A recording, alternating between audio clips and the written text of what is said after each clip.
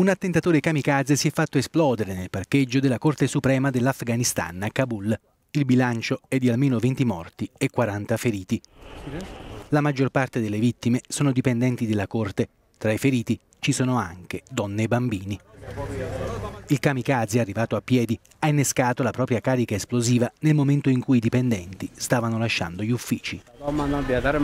Quando ho sentito l'esplosione mi sono precipitato verso il parcheggio della Corte Suprema alla ricerca di mio fratello che lavora lì. Fortunatamente è sopravvissuto nonostante fosse molto vicino all'attentatore. Purtroppo ci sono molti morti.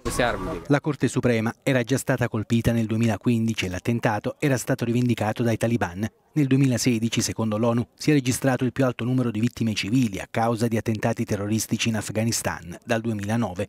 Il 10 gennaio un attacco simile ha provocato 38 morti tra gli impiegati del Parlamento.